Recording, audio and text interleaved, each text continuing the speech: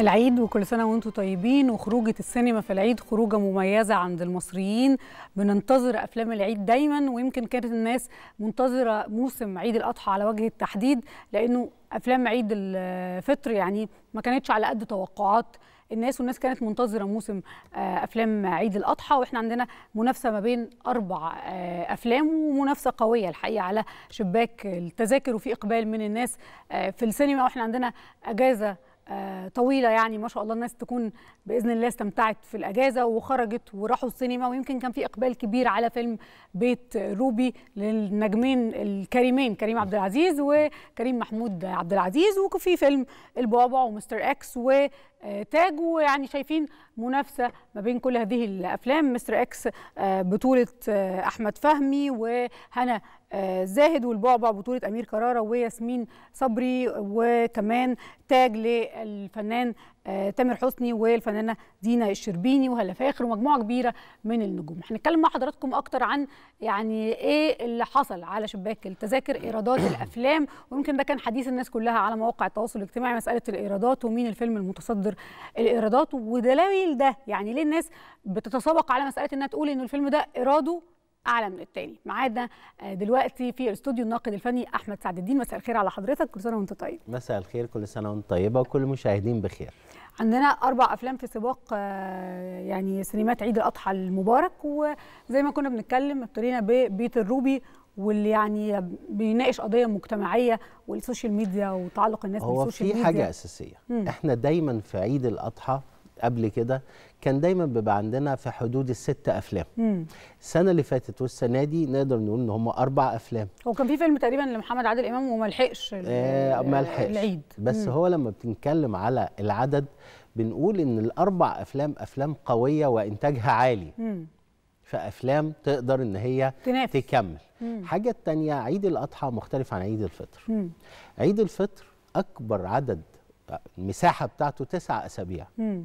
عيد الأضحى ممكن لأن هو لاحم في موسم الصيف آه. فيمتد لاكثر من 20 أسبوع و22 أسبوع فمن هنا بتنزل الايه الأفلام القوية على رأس هذه الأفلام الأربع أفلام هنلاقي فيلم بيت الروبي أو زي ما حضرتك تفضلتي الكريمين مم. كريم عبد العزيز وكريم محمود عبد العزيز طيب هنا الأهمية بالنسبة للفيلم ده أو ليه بنقول إن إحنا كنا مركزين معاه ومتوقعين إن هو يجيب إيرادات أكبر؟ وجود كريم عبد العزيز. مم. اولا كنجم صف أول يعتبر أكبر نجم في مصر في الوقت مم. الحالي. بعد كده والجن كمان يعني آخر أعماله السينمائية. هو آخر أعماله لكن هو حتى قبل ده مم. طبعا. كان عنده هو اللي حقق أعلى إيراد في تاريخ السينما حتى الآن. صحيح. يعني إحنا بنتكلم لحد دلوقتي. فيلم الكريم عبد العزيز تدخل وانت فيلم مغمض. الكريم عبد واثق ان العزيز. الفيلم حلو. وكريم عبد العزيز كمان ماشي آه، بخطى ثابتة. بيقدم الكوميدي ويقدم الأكشن ويقدم ميلودراما بيقدم كل حاجة. صحيح. فمن هنا الفيلم واخد آه، سوكسيه كده إن في نجم صف أول وهذا النجم نجم ليه شعبية كبيرة جدا. مم. بالإضافة للإنتاج الضخم بالإضافة لوجود كريم محمود عبد العزيز بقى أول مرة مم. نشوفه مع كريم عبد العزيز مم. فطبعا الناس اتلخبطت في فترة من الفترات. مع وجود نور مع وجود مجموعة كبيرة جدا بالإضافة بقى لنقطة مهمة جدا بيتر ميمي آه بيتر ميمي أقدر أقول إن بيتر ميمي بنى اسمه أكتر كمان في الدراما مم. على مستوى الاختيار وغيره وغيره لكن اسمه اتحفر خلاص لكن في, اسمه في دماغ. المصريين بالظبط. لما تشوف بيتر ميمي عارف إنك هتشوف عمل آه، في يعني أكشن. مهم وفي في شغل لكن كمان ما ننساش القصة مم.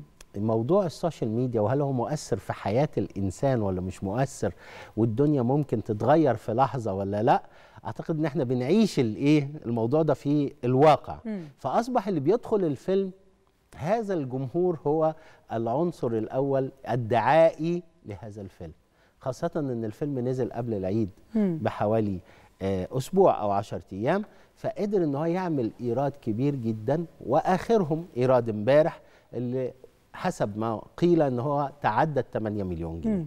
وده رقم قياسي كبير جدا مم. هيخلص على العيدية ماشي ولكن نقدر نقول إن هو حتى الآن قارب من آه ال 40 مليون جنيه مم. فده رقم مش سهل إن إن هو يحقق في آه، أسبوعين أو في 20 يوم فاذا هذا الفيلم يعتبر أكبر فيلم موجود حاليا أنا متهيألي كمان هو عشان فيلم اجتماعي يخص الأسرة كلها يعني تقدر تاخد كل الأسرة وتدخل الفيلم هو الفيلم طبعا تقدري تاخديه الأسرة وهتلاقي هتلاقي الضحك okay وهتلاقي الجد okay مم. وهتلاقي مواضيع تمسك انت شخصيا والإنسان اللي ممكن يتشهر في لحظة مم. بعد ما كان إنسان عادي ممكن آه، فيديو صغير يتحط على ال- على الإنترنت يغير مسار الحياة ويفتح له طاقات وأمل غير طبيعي هيلاقي العلاقات الأسرية هيلاقي هو الحقيقة الفيلم نقدر نقول إن هو متكامل.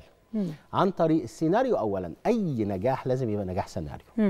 السيناريو اولا وعندي الإخراج وعندي الأبطال بالإضافة لمجموعة العناصر الجذب اللي هي مجموعة عناصر الصناعة السينمائية بشكل جيد. طيب حضرتك كنت بتتحدث عن الإيرادات وده حديث الناس على ال social media وخناقة الإيرادات بتاعت آه يعني كل مرة دي يعني صناع الفيلم بيتحدثوا عن آه تحقيق أعلى إيرادات. كل صناع لكل فيلم بيتحدثوا عن تحقيق الأعلى إيرادات. إيه اللي بيحكم مسألة الإيرادات دي؟ وهل هنا مسألة آه، اختلاف سعر التذكرة بيبقى يعني الإيرادات- عامل حسم في الموضوع. حرب الإيرادات بقالها كتير جدا موجودة أكتر من عشر سنين يمكن 15 سنة وحرب الإيرادات موجودة ولكن ما يحكم حرب الإيرادات ثلاث نقط مهمين جدا. مم. أول حاجة عدد النسخ اللي نازل فيها أو نازل بيها الفيلم. نازل في كام صالة عرض؟ مم. دي بت... لو كان عدد كبير فيقدر إن هو ياخد جمهور أكتر مم. ثانيا إحنا عندنا دلوقتي تفاوت كبير جدا في بعض صالات العرض مم. بيبقى ثمن التذكرة ممكن ثلاث أضعاف سعر صالة عرض أخرى مم. تمام عشان كده ناس كتير إيراد. بترجع مسألة الإيرادات دي لارتفاع أسعار يعني التذاكر في أماكن لو ما. اتكلمت على مليون جنيه مثلا مم. إيراد لفيلم مم. لو التذكرة ب 100 جنيه يبقى أنا دخل لي 1000 مم. شخص. لو تذكره ب 50 يبقى دخل لي 2000 وهكذا. هنا ممكن ارتفاع ثمن التذكرة بيدي إيراد لكن ما بيديش عدد مشاهدين للفيلم. مم. فهنا بتفرق شوية. حاجة التانية هو صناع الأعمال والمنتجين تحديدا بيستغلوا كلمة الإيراد في الدعاية للفيلم إن هو نمبر 1 آه ما هو ده اللي أنا كنت عايزة أسأل حضرتك عليه. هو المشاهد آه، حتة إن هو يشوف إنه الفيلم ده إيراده هو أعلى حاجة. هيخليه يحركه يروح السينما ولا آه النجوم اللي في الفيلم يعني إيه طيب، العوامل اللي ليه الناس بتتخانق على حتة الإيرادات تعالي نفصص الكلام ده بسهولة كده وبسرعة مم. رقم واحد إحنا بنتكلم في العيد الإيرادات القوية والكبيرة دي في العيد أكتر حاجة مم. جمهور العيد مش هو جمهور السينما الحقيقي مم. ليه؟ لأن جمهور العيد المصريين بيجوا من أطراف القاهرة يلفوا في كل مكان وفي الآخر آخر حاجة الطقس الأساسي سينما. السنوي مم. اللي لازم يدخل السينما في النهاية مم. محتاج فيلم يضحك فيه مم. ويبقى سامع عنه إن هو كويس مجموعة ال- الإيرادات اللي بتتقال وأنا رقم واحد ومجموعة الضحك الكبيرة والجمهور ممكن ينقل لنفسه بتعمل عنصر دعاية كبير في فترة العيد فمن هنا تبقى عنصر جذب كبير جدا يعلي إيرادات ويعلي دخل الفيلم سواء الجمهور دخل أو أرقام التذاكر طيب نروح لفيلم مستر إكس و إكس. يعني بطولة أحمد فهمي وهنا الزاهد. الجمهور جميل بيومي فؤاد وأسقس يشوف حاجة حاجة جميلة اللي هي إيه قصة حب ما بين زوجين أساسا مم. في الحقيقة خاصة إن أحمد فهمي لو بس هم رجعنا اشتغلوا دراما مع بعض قبل كده اشتغلوا دراما مم. لكن إحنا بنتكلم في السينما مم. في التجربة السينما. الأولى كسينما وفي مم. نفس الوقت أحمد فهمي في الأول جه عن طريق الثلاثي. ماجد وشيكو وفهمي. والكلام ده النهارده بنشوفه هو ومين هو ومراته. فالجمهور حابب يشوف الثنائي ده. وجود بيومي فؤاد آه، عنصر من عناصر موضوع إنه إحنا نشوف فنان نجاح. ومراته في, في, في أفلام سينما ده كان زمان أكتر كان بكتير من دلوقتي. زمان أكتر. بس هو بقاله فترة وحسين فهمي. بقاله فترة خلال ال 15 20 سنة الأخيرة ما كانش موجود بيضر ولا. بيفيد الفنان حسب. لو الثنائي ده عنده كيمياء مع الجمهور هي هيفيد أكتر. مم. يعني أنا شايف مستر إكس إن هو أفاد. مم. ليه الجمهور حابب الشخصيتين جنب بعض. مم. وحاسس إن هم في تفاهم في كيمياء في حاجات كتيرة جدا. حتى لو في الفيلم نائر ونقير. مم. ولكن في الآخر هو شايف حالة جيدة. مع وجود بيومي فؤاد ساند شوية لأن بيومي من الممثلين أصحاب برضو مش هنقول مهارة هنقول ال- الموهبة. وعنده مساحة مع الجمهور عنده يقدر يضحكك من يعني بس برياكشناته حتى. من غير ما يعني يتكلم. إن بيومي فيه ميزة حلوة قوي إن هو ممكن يقول إفيه وهو وشه رايح للحزن صح. أو رايح للجد. فيقدر يضحك الناس بشكل جيد. فالجمهور أعتقد إن ده آه، آه، يعني الفيلم ده في مرحلة المتوسط. لكن عليه إقبال. طيب آه نروح لفيلم تاج؟ طب نروح للبابا ونخليه نروح. للآخر نروح للبعبع بطولة آه، النجمة أمير أمير كرارة. والنجمة ياسمين صبري وأمير كرارة ده بعد كازابلانكا أربع أول سنين فيلم. تقريبا غياب عن السينما في حدود أربع سنين مم. غياب العودة مرة أخرى ولكن في الأربع سنين هو عمل آه، شخصية درامية مم. في عن خلال آه، شاشة التلفزيون ونجح فيها نجاح كبير جدا لكن لما باجي أمسك أمير كرارة هلاقي إن هو بيحب دايما الاكشن مم. الجزء الرومانسي جميل ولكن هو الاكشن رقم واحد عنده مم.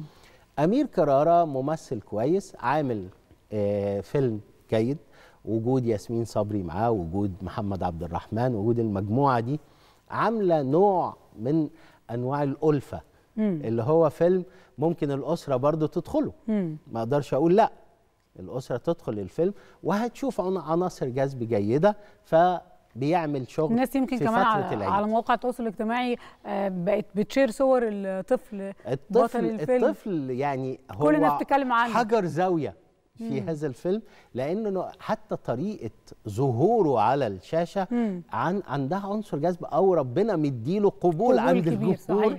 بشكل كبير جدا فده جزء من نجاح الفيلم وفي مم. العيد تحديدا هذا وجود هذا الطفل طيب فيلم تاج فيلم تاج. يعني تجربة جديدة آه، مسألة ال- يعني أبطال الخارقة و- الأبطال الخارقين هي موجودة في السينما العالمية. بالظبط ولكن هنا بتتعمل لأول مرة. مدى تقبل الجمهور لده؟ هو هنا بقى السؤال. مم.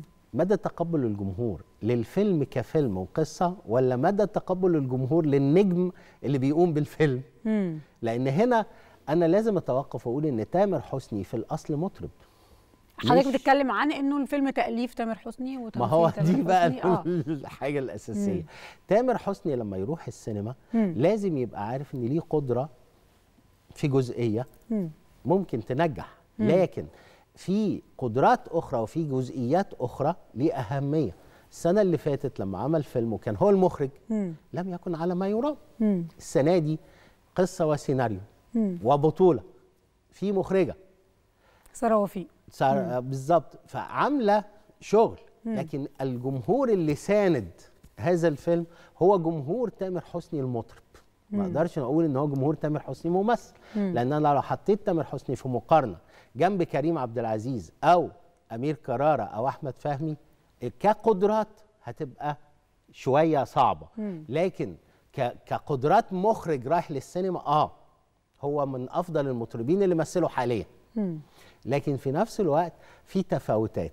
عشان كده هتلاقي الفيلم برغم إن في بعض الافيهات ال- فيها استظراف فيها ايا كان الجمهور بيضحك لأنه بيحب تامر لأن تامر ده المطرب بتاعه. مم. فنجاح هذا الفيلم نجاح جماهيري أكتر من النجاح النقدي. سمعت إن هم قالوا هيعملوا جزء تاني. مم. تمام. لكن لو أقارنوا بالقصة الأصلية لحكاية الأبطال الخارقين هناك تفاوت. طيب وجود دينا الشربيني وبعد نجاحها في الموسم الرمضاني والتعاون ما بينهم آه، شايف واضاف هي؟ دينا الشربيني ممثلة كويسة جدا ونجحت قبل كده سواء في الدراما أو في السينما. السنة دي وجودها مع تامر حسني ما أنا زي ما قلت لك إن تامر ليه جمهوره. مم. جمهور جاي من فئة معينة. وجودها مع تامر ده يعتبر جيد ونجاح الفيلم قايم على وجود تامر كاسم تامر المطرب تامر حسني. طيب، دينا الشربيني جنبه أعلى. آه. ما أقدرش أقول إن هي لأ. مم. ولكن ال- العمل ككل كان محتاج أكتر من كده يتخدم عليه كسيناريو طب الحديث عن الإيرادات الخاصة بفيلم تاج كان يعني عامل جدل واسع على ال social media. وهنا تحديدا أنا بتكلم عن الإيرادات بره مصر. وانه بيحقق دي- الأعلى دي- إيرادات دي بره مصر. مهمة مم. جدا. آه الإيرادات داخل مصر وخارج مصر مم. الإيرادات داخل مصر أعتقد إن إحنا عارفينها وفي الترتيب ممكن نقول بيت الروبي رقم واحد مم. خارج مصر إحنا مش قادرين نمسكها قوي ولكن شعبية تامر في الخليج وفي السعودية مم. آه شعبية كبيرة دي حتة الحتة التانية تمن التذكرة هناك مم. لما يحول بالعملة المصرية بيعمل فرق لكن نقف بقى ونقول التذكرة في السعودية وفي الكويت وفي الإمارات سعر التذكرة هو سعر البلد مم. يعني اللي ب 10 جنيه هي ب 10 جنيه ب 10 ريال هي ب 10 ريال ب 10 دولار مش هي ب 10. هحولهم بالمصري مش هحولهم مم. لكن لو حولت أنا بلعب ب آه يعني social media لعب social media مم. لكن في الأصل لا أنا بتكلم على حجم اللي حضروا هذا الفيلم ممكن يكون في الخليج آه ممكن يكون في الخليج كتير شوية لكن في مصر ممكن أقل من بيت الروبي طب تقبل الأجيال الجديدة لمساله إنه نقدم لهم الأبطال الخارقة هم بيشوفوا برضو الأفلام العالمية وبيقارنوا في ال quality صعوبة في نقطة مهمة مم. إن أنا عندي الجيل الحالي منفتح على السينما العالمية والأمريكية تحديدا ودول أصل الخدعة مم. يعني دول من 50 60 سنة وهم بيعملوا الأفلام اللي فيها زي جيمس بوند وزي سوبرمان وزي غيره وزي غيره وخارقين وغير خارقين. فالشباب اللي بيتفرج على هذه النوعية من السينما لما يجي يتفرج على فيلم مصري مع اختلاف الإمكانيات. والقدرات مش هقدر أقول لأ هيلاقي في تفاوت. فهنلاقي في نسبة ممكن تعزف عن المشاهدة وفي نسبة أخرى ممكن تكمل. إحنا بنقارن شغلنا بشغل بعض مش هنقارن شغلنا بالخارج. لأن لو قارنا نفسنا بالخارج هنلاقي إن دول إمكانياتهم أعلى. سابقين في المنطقة دي على وجه مش التحديد ب- سابقين بس وعندهم. إمكانيات. يعني أنا لما بكلف فيلم هنا 20 30 مليون غير ما هم بيكلفوا فيلم 200 مليون دولار. ما أقدرش إن أنا إيه أقف قصادهم. لكن أقدر أقول أنا أحب أعمل فيلم هنا يتقبله الجمهور بشكل جيد. وتاج قدر يحقق المعادلة دي بالإمكانيات المصرية في تقديم آه، الخارق المصري على مستوى للأجيال الوسط. الجديدة دي؟ لا أكثر ولا أقل. على مستوى ال- ال- الوسط. كان ينقصه إيه من وجهة نظرك لا ينقصه اولا السيناريو. مم. السيناريو كان محتاج سيناريست محترف أكتر. مم. ده ده الأساس. بدون سيناريو مهما عملت التقنيات عمرها ما تنجح فيلم أنا بشكرك شكرا جزيلا. شكراً. ويعني قراءة كده في أفلام العيد وأعتقد إن الأفلام دي مكملة معانا لسه في آه موسم طبعا عندها وقت لسه كتير وهيكون في إضافات كمان جديدة أكيد أعتقد طبعاً. أنا بشكرك شكرا جزيلا شكراً الناقد. الفني أحمد سعد الدين